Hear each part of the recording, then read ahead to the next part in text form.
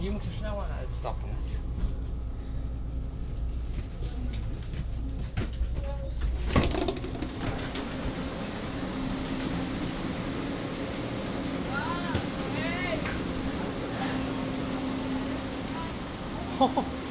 Hier heb je lange platte roltrappen. That's it.